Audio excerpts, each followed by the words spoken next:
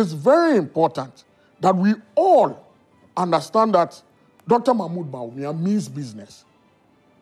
Whatever he was put in charge of as the second highest office or the vice president of this republic, he was able to deliver.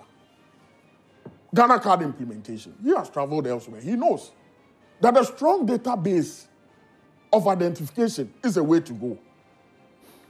Look, when we walk on our street, now we have street cameras all over.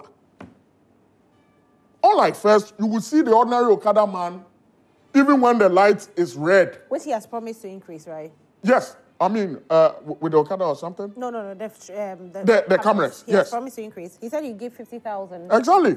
Look, at first, you would see Okada man just ride on your street. When the lights are red, they would just jump.